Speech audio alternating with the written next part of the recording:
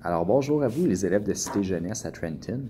Euh, je me présente, moi je m'appelle Pierre-Luc Bélanger. Je suis entre autres un auteur de littérature jeunesse. Euh, J'écris plusieurs livres, dont 24 heures de liberté, Ski blanche et avalanche, Smash sous le soleil, Disparu chez les Mayas et Une vague d'entraide.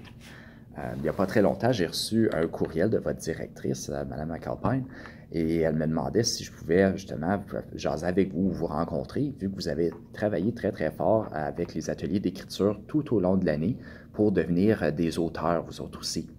Euh, malheureusement, je ne pouvais pas être là pour votre, votre célébration que vous allez avoir vendredi.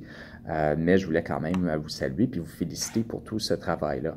Euh, en jasant avec vos enseignantes, j'ai su que vous avez travaillé euh, très fort. Vous avez essayé justement d'utiliser des mots riches, d'accroître votre vocabulaire, de travailler votre style, de partager des petits moments, partager justement tout ce qui vous passe par la tête, par l'entremise de vos textes, de vos histoires.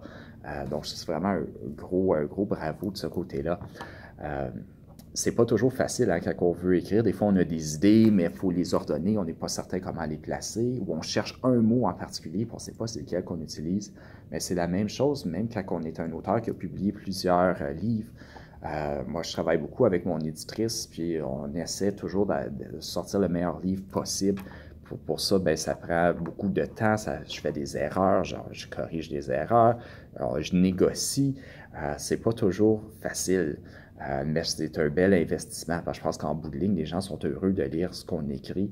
Euh, et moi-même, en tant qu'auteur, je suis heureux quand quelqu'un me dit Ah, j'ai lu euh, une de tes histoires, puis ça m'a touché, ça m'a fait pleurer, ou j'étais fâché à ce moment-là.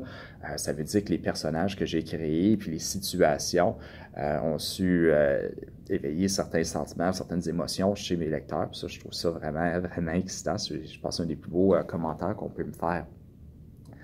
Euh, donc, vous avez travaillé super fort. J'aimerais ça pouvoir, à un moment donné, peut-être lire quelques extraits de vos rédactions.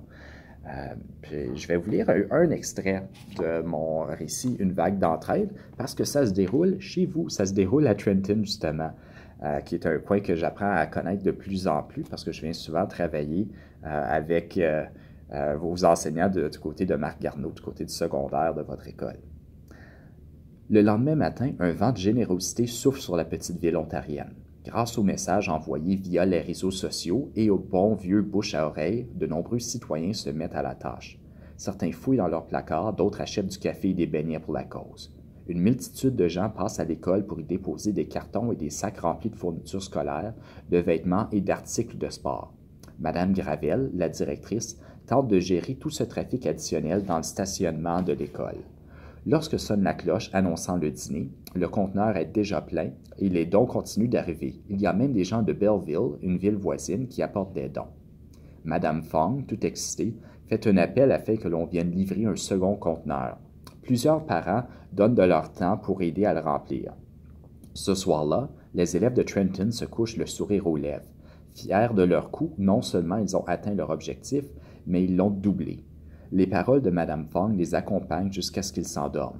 Mes chers élèves, je vous lève mon chapeau, car vous m'impressionnez. Votre empathie, votre dévouement et votre générosité m'émerveillent. En plus d'avoir réussi à ramasser une tonne d'objets qui aideront les Saint-Martinois, vous avez aussi réuni les membres de notre communauté autour de cette belle initiative. Peu importe leur âge, leur culture ou leur carrière, ils ont reconnu votre passion et ont décidé de prendre part à ce projet avec vous. Ce que vous avez réussi à faire est phénoménal. Les félicite-t-elle, la larme à l'œil. Donc, je tiens, comme pour un mot de conclusion, à vous encourager à continuer d'écrire. Hein, c'est en écrivant le plus souvent possible qu'on s'améliore, qu'on trouve quel est notre style à nous. Euh, c'est vraiment une belle expérience que d'écrire. J'espère que vous allez continuer à faire plein de belles découvertes de, ce côté-là. Euh, ça va peut-être devenir même un de vos passe-temps. Peut-être qu'un jour, vous allez être des auteurs avec plein de titres à votre effectif, que vous aussi, vous allez avoir écrit beaucoup de livres. Euh, donc, je vous encourage à continuer. puis j'espère pouvoir vous rencontrer à un moment donné et lire justement vos textes. Au revoir.